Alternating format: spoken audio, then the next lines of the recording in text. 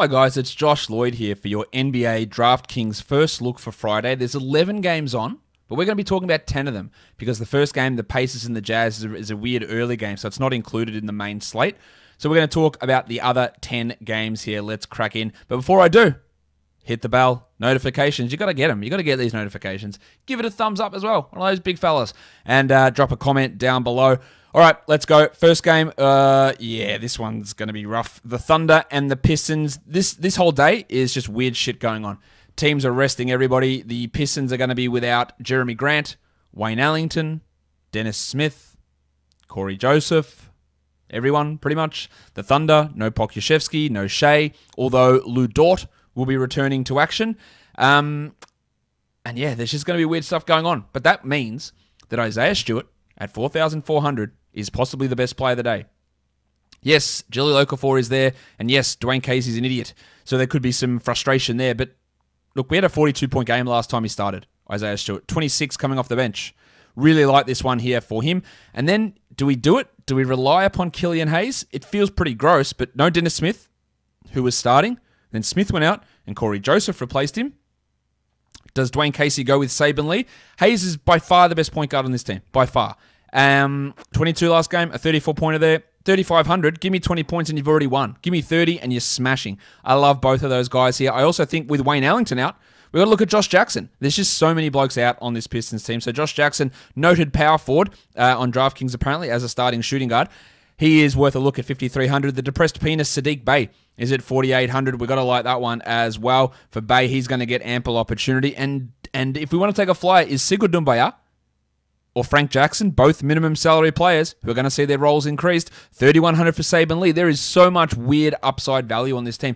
Even MC Hamidou Diallo, although I wouldn't be too excited about him, especially at 4,200 when I can get Suku or Frank or Saben in there at basically minimum salary. Last time Lu Dort played, he dropped 66 DraftKings points. Now, you would be a fool to expect Dort to do that again, but there is an opportunity for him to put up 30. And at 5,300, I, I don't mind it. It's just that he's dwarfed by value from these Pistons guys. I think Moses Brown at 6,100, he dropped 41 last game, maybe, especially in this matchup. It could work out. Bazley at 5,600 has had two good games and one absolute stinker. Yeah, look, we look at his last game. We had, well, I've go to the log there 32, 8, 35. So all over the place, really. But you get 30 from Bazley, and it's all right. I, I wouldn't be hope. I wouldn't be super into it. Um, not into Svi Mykhailiuk, not into Tony Bradley or Jahlil Okafor or Isaiah Roby either. But that is a game where there's some weird shit probably going to go down. Absolutely. Almost guarantee you'll get some weird shit in that one. The next one we look at is the Pelicans and the Wizards. And in this one, instead of players being out, we've got players returning. Lonzo Ball has been upgraded to probable. That's going to impact the value of Naji Marshall, of James Johnson. It's going to turn Eric Bledsoe from being a zero maybe into a minus player. That's how bad he's going to be. But it is going to have an impact. While the Wizards, who knows what sort of nonsense they're going to pull at center, but Dan Gafford's always the guy we want to look at. And let's start by looking at Dan Gafford, who is you know, easily their best center, getting the most minutes, but it's still not 20 a game. But look at this 26, 22, 22, 22, 19 points. And you're at under 3,500. Absolutely. I'll use him every day of the week. Russ Westbrook's at 11,000. I'm into that. Big into Russ Westbrook. Lonzo's at 75. I'd probably be cautious about using him. Same with Beal at 8,900. Well, Zion's up to 10,000. I think that's too high. Well, it's too high to extract value out of it. Let's put it that way. And Ingram at 85. I'd almost have the same feeling. Although Ingram has been playing well, for averaging 49 over the last three, it might be on the high side. Eric Bledsoe, forget about that. Rui Hachimura, God, no, no, not even a chance in hell. James Johnson and Naji Marshall, I think both those guys who've been performing well with Lonzo back, it does impact them. The Pelicans are one and a half point favorites here. We've got a really big total, 242. So that's at least appealing on that uh, in that respect.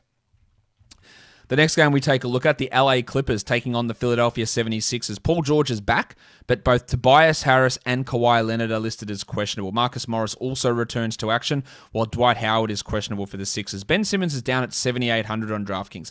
There's a reason he's been bad, but last game I thought we started to see some improvements from Simmons. 43 DraftKings points would tell us yes, he did start to improve. Against the Clippers is probably not the right spot to use him, but against any team is the right spot to use Joel Embiid. He's at 10,500, and even if he plays 30 minutes, minutes, I feel like he's going to get 50 points. He's averaging uh, 55 over his last three. Paulie George at 9,100, I would smash if Kawhi is out. If Kawhi is in, I'm a little bit more lukewarm. And the same goes for Marcus Morris at 5,600. Marcus Morris at 56 looks great with no Kawhi, and a little less great if Kawhi plays. No Serge Ibaka, so Ivica Zubac is averaging 35 a game.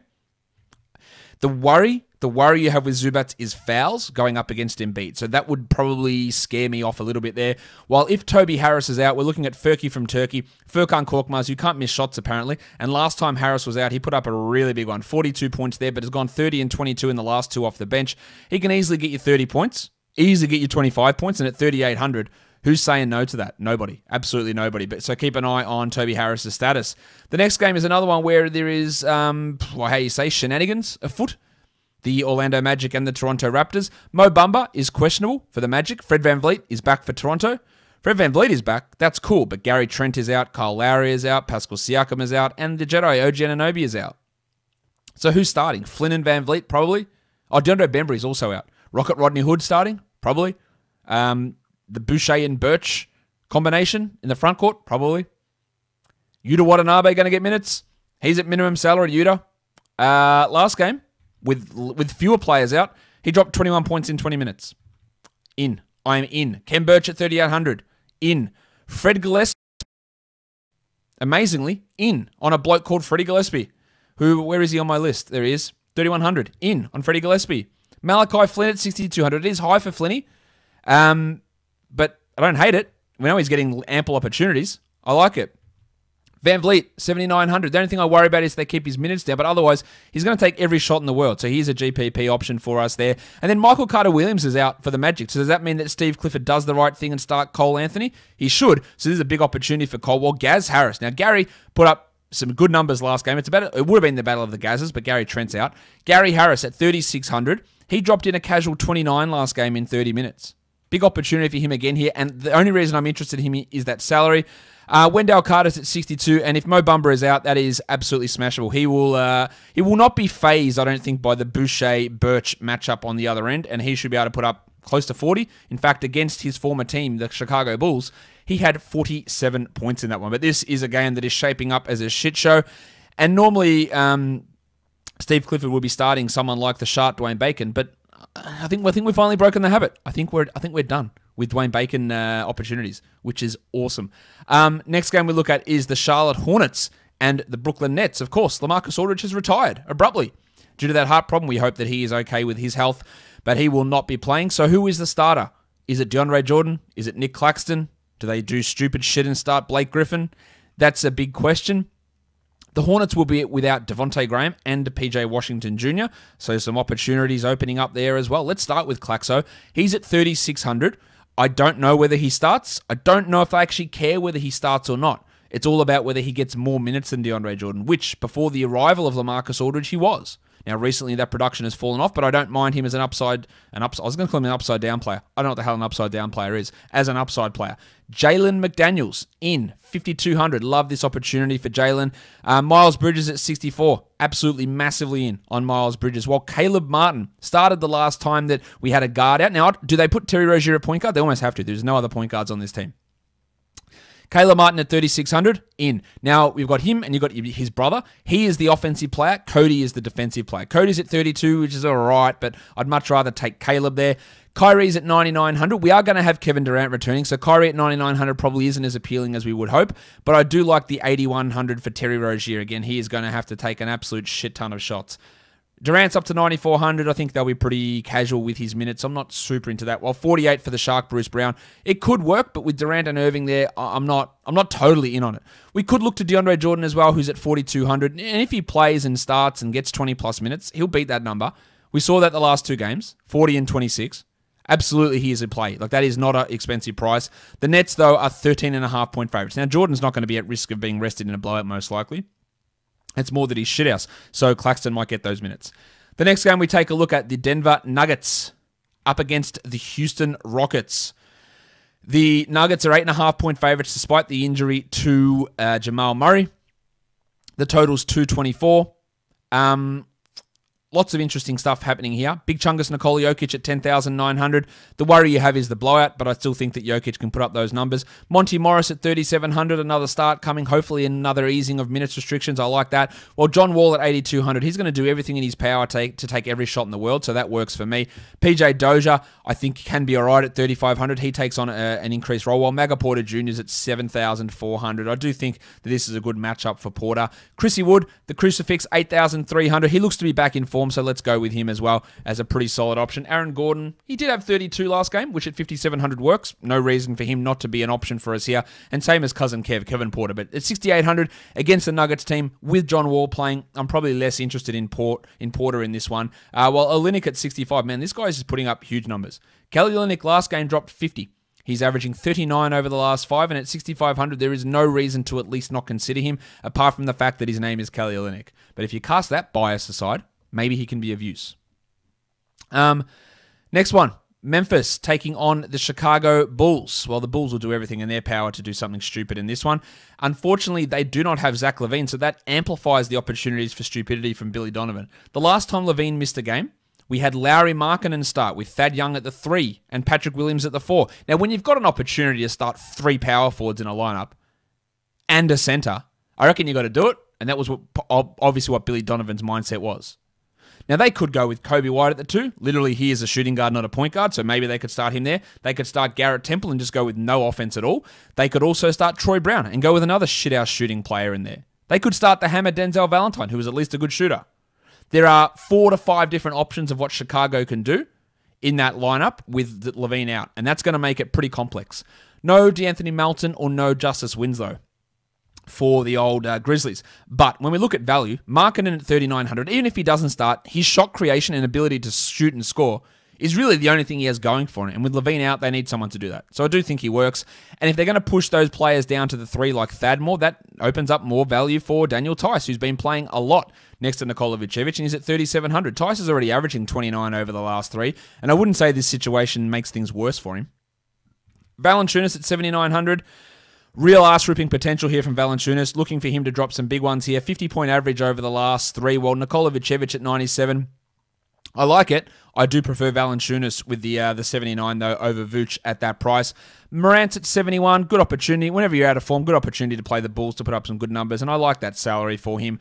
Uh, Troy Brown's at 3,000. Again, he could start. Minimum salary Troy Brown if he starts. I think he's in play for us. While Grayson Allen at 44, he probably drops 40 on the Bulls, let's be fair. At 4,400, that makes quite a bit of sense to get him into the um, get him into your rotation. Dillon Brooks is always just an upside sort of guy. And uh, Coby White, I think we've got to have the same reservations about as we do with Dillon Brooks. Next game, Miami taking on the Minnesota Timberwolves. Goran Dragic should return here for Miami after resting in the last game, but of course there will be no Victor Oladipo because he's out for God knows how long with whatever injury he's dealing with. Karl-Anthony Towns is going to return for the Timberwolves, so that's going to limit our exposure to Jarred Vanderbilt, Ed Davis, and Naz Reid, if anyone cared there. While Andre Iguodala is questionable and Jalen Noel is questionable, although I believe Noel is questionable. Sorry, more closer to doubtful than questionable.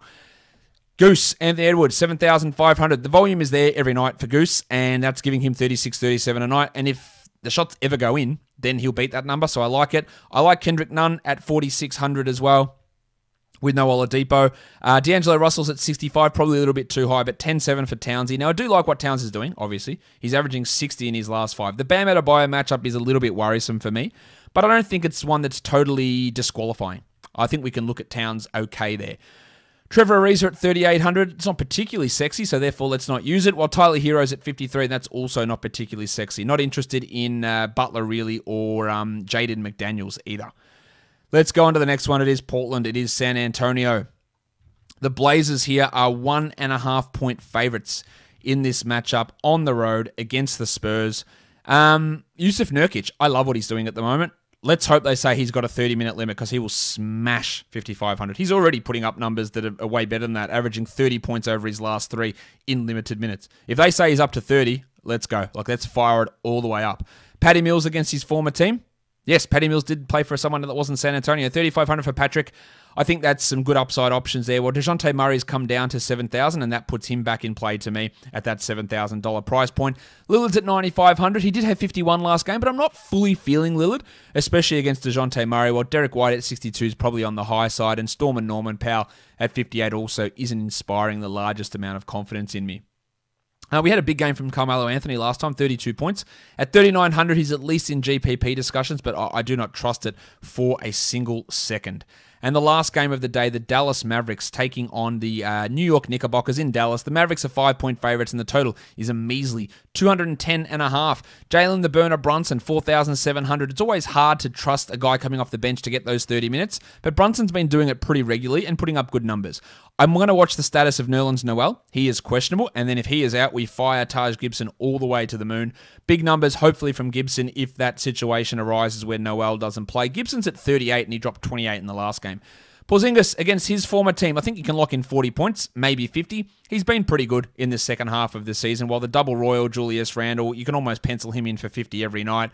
So I do think that's a good opportunity there. Rowan Barrett, Derrick Rose, Alec Burks, Josh Richardson, Elfrid Payton, Reggie Bullock, just a whole bunch, Tim Hardaway of shooting guard slash point guards that I have zero trust in whatsoever. And I'd probably be avoiding them in a lot of scenarios, or nearly every scenario.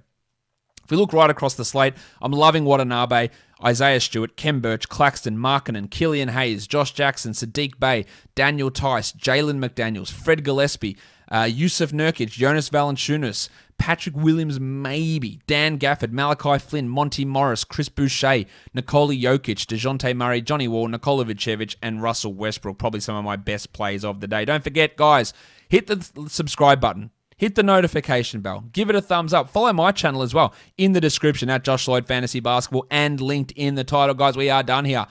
Thank you so much for watching, everyone. See ya.